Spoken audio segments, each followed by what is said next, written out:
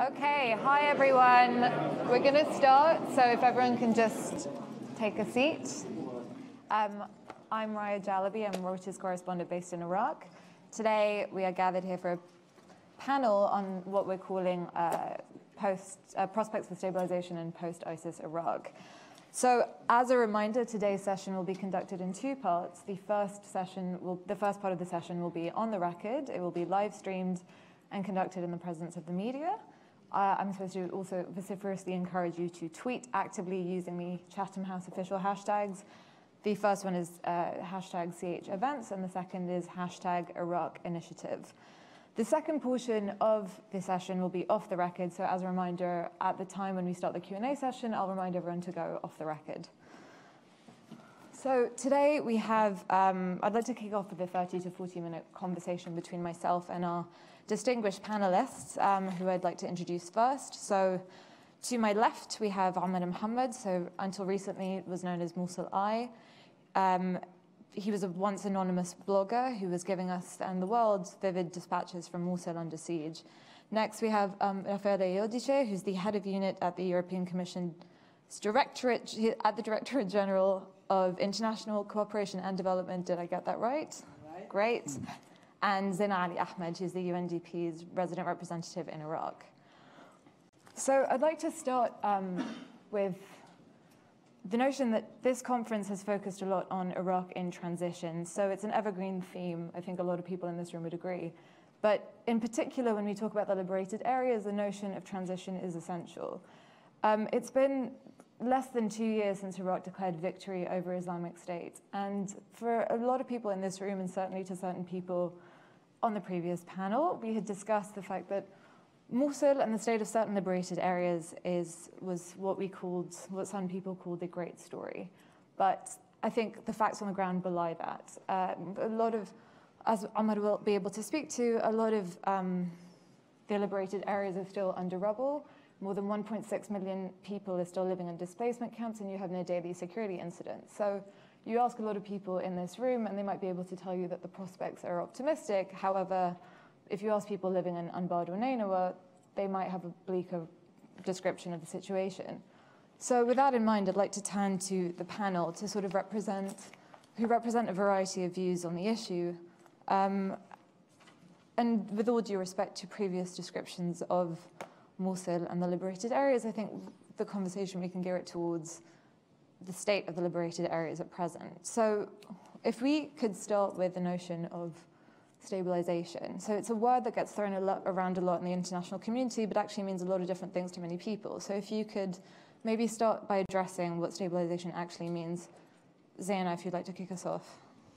Thank you very much, Raya. Actually, before we started this panel, Omar was telling me what is stabilization.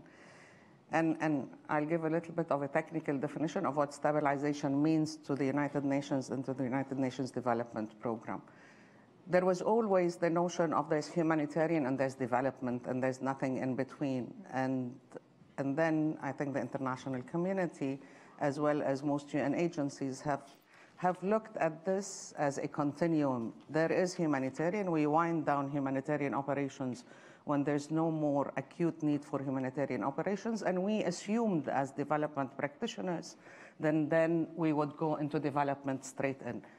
But lessons learned have shown that this is not the way. There is a vacuum between the winding down on humanitarian operations and the building up on the short, medium, and long-term development needs. And this is the continuum that we're looking at now is stabilization. So where are we in that continuum at the moment in Iraq?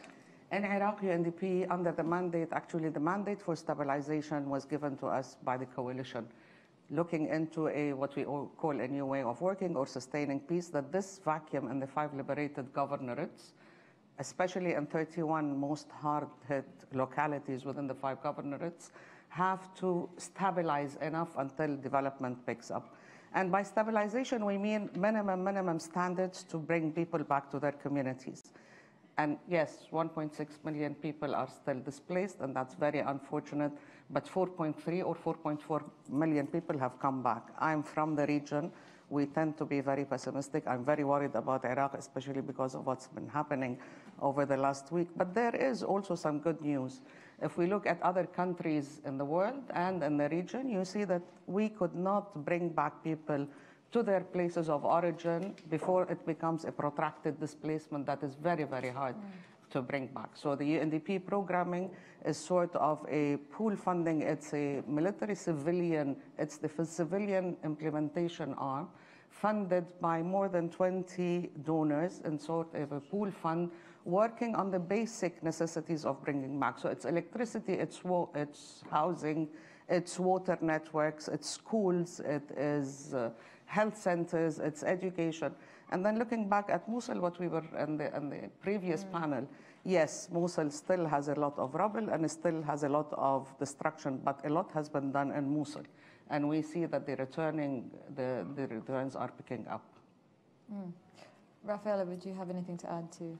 Yeah, well, I just can complement what my colleague said. Of course, we have uh, the same vision as the European Union, very much in line, and of course, are part of uh, one of the major uh, financing institution of UNDP.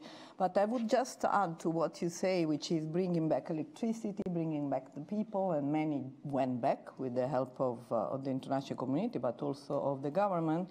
But still, uh, what is really needed uh, to create the real stabilization is real rebuild the human capital. And rebuilding the human capital brings me back to one of the panels we had before. It's about cultural heritage, ownership, recognizing yourself in your local communities, in the local governments, and that's, I think, uh, the link between the humanitarian, the long term, and that's what is still, I would say, if not missing, but uh, still under construction. But we, I think in the next, uh, we will continue more in detail on that. Certainly, I mean, the, the sort of Islamic State's rule over Mosul and much of the, the now liberated areas of Iraq, uh, the, that draconian rule suppressed a lot of this pre-existing social fabric. So, Omar, this is something you talk about a lot and you write about a lot. This, this, in Mosul in particular, it's a city that has such a rich cultural uh, and complex social fabric. So, how do you, with that in mind, how do we how does the international community go about helping Moslawis regenerate that? I think we should start by reviewing the, all the international efforts in Mosul and how did they take place in the city after the liberation of Mosul. Uh, we have to admit that there were lots of funds, EU, other countries, but we haven't seen any plan dealing with a strategy or in strategic way dealing with the reconstruction of Mosul. For example, uh, the reconstruction, which is still local, has begun in the old city of Mosul just recently. While, and I've, I've always been critical of UNDP and other organizations, uh, uh, UN and its agencies, not for nothing, but when the city was liberated, it was seen as this huge province of Nineveh was only seen as two sides of the river, east and west. And all the reconstruction began in the east side of the city, which wasn't heavily damaged. But it was easy for many agencies to get direct outcomes, to say that we are working there, while they ignored uh, uh, uh, the west part of the city, which has severely damaged uh, uh, during the, has been severely damaged during the battle. Uh, as a consequence of this, many people weren't able to return. And this has also led to the departure of, when we speak about cultural heritage and the identity, it led to the departure of all the people who were living in the west side, those who were working in business, those who were running the old markets of the city, those who were part of the dynamics of the city, they had to leave to the other side and they have established a new life which is disconnected from their past because when we speak about uh, the identity, we always speak about uh, the old part of the city of Mosul as being the heart of this uh, uh, uh, uh process of the, the, creation of the identity of Mosul. Another side of this reconstruction was we have noticed that international funds have, been, have never been dealing with Nineveh as a one governorate. apparently, for many international donors, when they say Nineveh, they only refer to Christian areas. Or when they say Sinjar, they only refer to Yazidis. When it comes to Mosul, they refer to Sunnis. So they dealt with us as divided communities, and this led to many other consequences. Uh, the money is there, but there is no plan, neither from the Iraqi government or from the international organizations. Uh, we have still no hospitals, no infrastructure, uh, no bridges. Only one bridge has been uh, uh, reconstructed, the older bridge of Mosul. The other bridge was I don't know, in, in, in, a certain way, they have just reconnected the bridge, uh, while other bridges are impossible to be reconstructed. Any person from west side of the city of Mosul needs at least five hours to reach a small health center in the east side.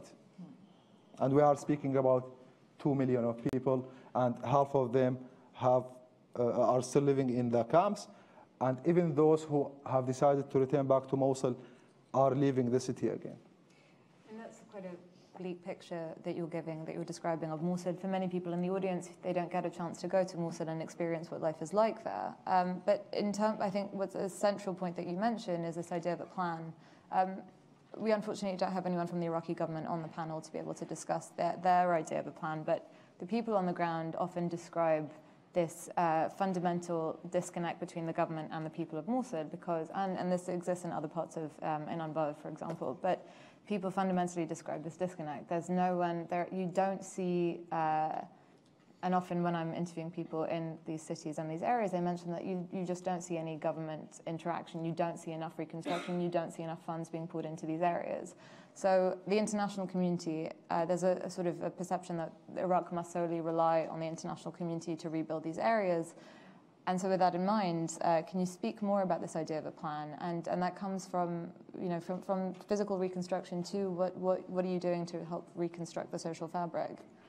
I do not want to become the advocate for the government. That, that's not my role on this panel. But I have to say that there is a plan. There is a disconnect, Raya, I mm. agree. But there is a plan, and the plan was in the Kuwaiti conference. The problem, of course, is that the World Bank has estimated that it needs 88, more than mm-hmm. eighty-eight billion dollars for reconstruction. When I speak about UNDP backed up by 20 plus international donors, we have 1.2 billion. So it is not even, I don't know what per, meager percentage. That doesn't also mean that the government is not working through different channels on reconstruction. It has the ReFAATO, it, it works through line ministries, etc. Is this enough? Of course it's not enough because the the demands are huge. What I would like to bring forward is to acknowledge what is being done and then support the institutions into doing more rather than saying nothing is being done. Mm -hmm. And then again, I talked about the physical reconstruction. Is this enough to bring back people to their places? No, it's not. And intention surveys that we we do in IDP camps as the UN, there are three things that are prerequisites for people to return. One is security. And that is very important in places like Sinjar, for example, for people to come back. Two is housing, interestingly, and I think that is testimony that the basic, basic infrastructure, like some water and some electricity and a health center, not the health centers or the schools, are there. So housing is very important, and this is why we are now focusing in our next uh, phase on housing. And number three, it is actual jobs. And I think that is the hardest to bring about. The way we're dealing with it is that we try to inject quick cash into the economy. Is this enough? $20 per day for people to rebuild their own houses through cash for work and the local economy to, to be revamped? Of course not. But do we look at it as a stopgap until the economic situation is better? Definitely. I think the crunch is the issues related to livelihoods creation. And for livelihoods creation, we need a vital private sector. And again, there is a private sector development strategy. Is it being implemented? Do they, is there a capacity to implement it as quickly as is needed? I'm not sure. Yeah, I will. Yeah, I would like again to add something because again, I I have some maybe more of my personal experience in conflict areas that I've been dealing with for 27 years if I'm 54, if I were an Iraqi who's 54, I would have seen First Saddam Hussein, then the fall, then the war, then again re reconstruction, and again a panel like this one. And I will look at me, and I understand when I go to Mosul, I've been three times in Mosul since the liberation, uh, so-called liberation, uh, and I go there and say, okay, we are there, we are a donor community, we are listening to you, we brought you back electricity. They stare at me, and sometimes you just think, wow, what can I say more? They will look at me and say, okay, thank you, goodbye, go home. And that's, I understand. So somehow on one side, I understand the frustration. On the other side, again, going to Mosul, you see the difference still. Because when it was a mountain of rubber, you see people starting to come back. But that's certainly not enough. And to what you said, it's electricity, it's jobs, it's work, it's money, it's whatever. There's justice it's justice, public finance management. Why did the ISIS become strong? ISIS were what? They were terrorists. They were killing people, raping women. They've been doing awful things. But at the same time, sometimes they were also governing. Mm-hmm. They, gave a, they were giving to some people a kind of structure. And that's what also people want a, a, kind of state which is really present. And that's where we as international community, in partnership with the government, in partnership with local communities, in partnership with local heroes, like the one I have here on my right, we have to at least put our goodwill and work against all odds for something which is a, legal system which works, uh, transparent. This morning we were talking about how to stop corruption. And uh, it, it's easy for us also to say, you know, everything's so corrupted and we didn't do enough that, okay, let's just put some money and that's it. So kind of these discussions are, we shouldn't give up, but we should enforce as donor community or partners that part. And uh, still, again, it's, it's a way up for the moment. Mm. I think, I think this notion of uh, the weakness of the state is one that we've come back to again and again in all the different discussions uh, throughout the day. And it is a very important point when it comes to the cooperation with, and, and sort of working in partnership with the international community.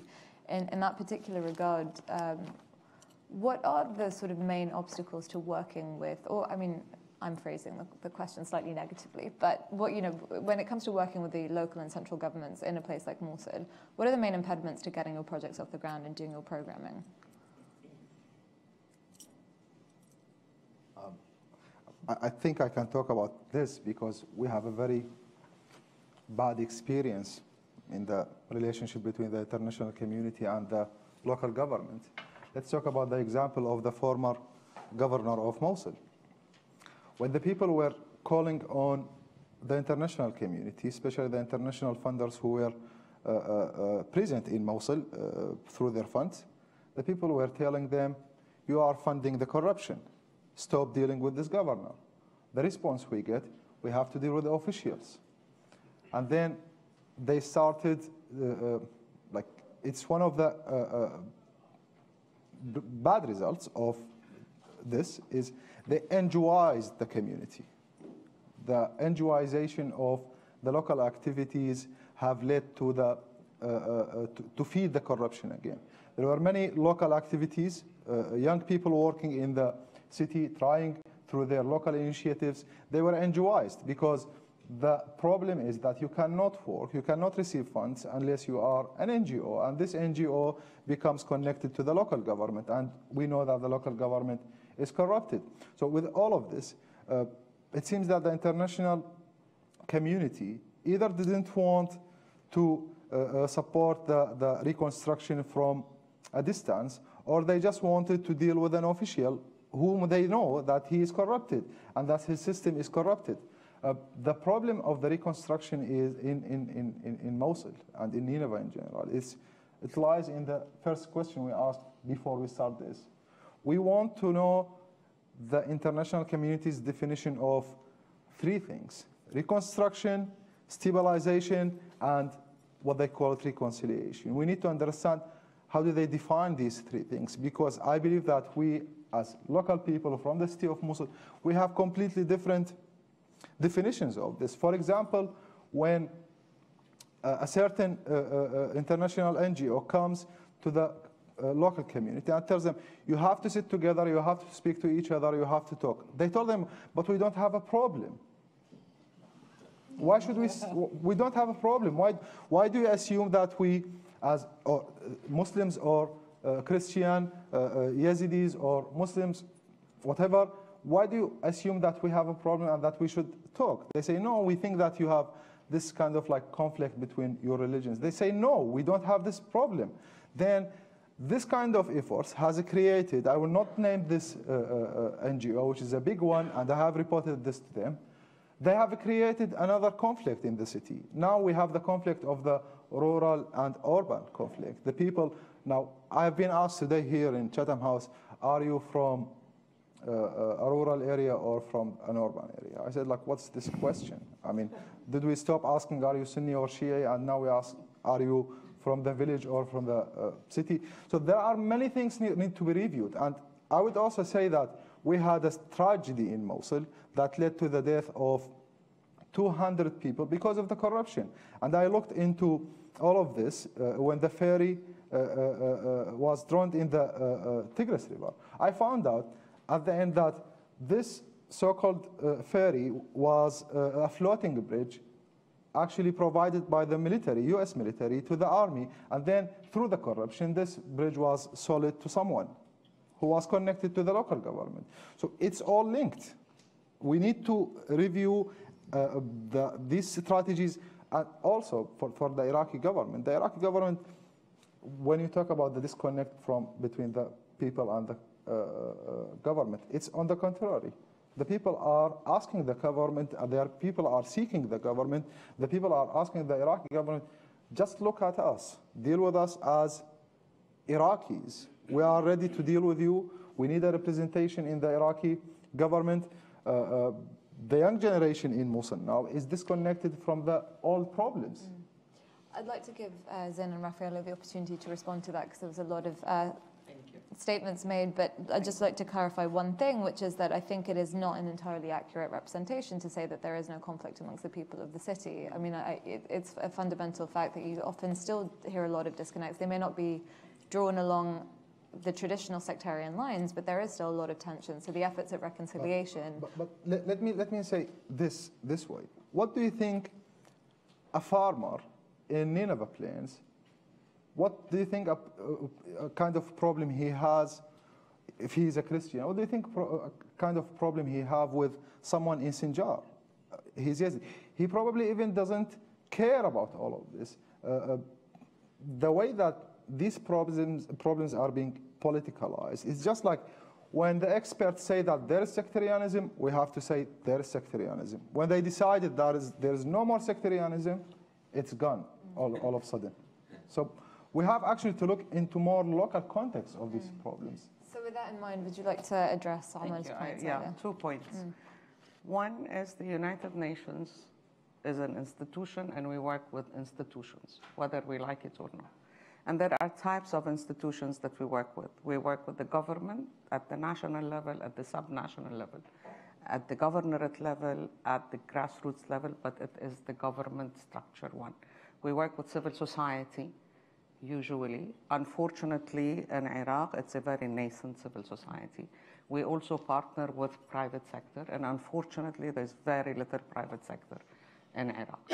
what I'm trying to say is the, is the United Nations and the international community cannot deal with individuals. Whether we like it or not, and whether we like the person or we do not like the person, these are elected officials we go on the prioritization again, $1.2 billion for stabilization and five governorates with this massive destruction is nothing. We go on a prioritization. One of the safeguards that we do, we say this prioritization meeting that goes over three days, we do not only want the governor and the councils, the governorate councils and the mayors to be there to prioritize with us. Please bring in the local communities and we try to bring in the local communities.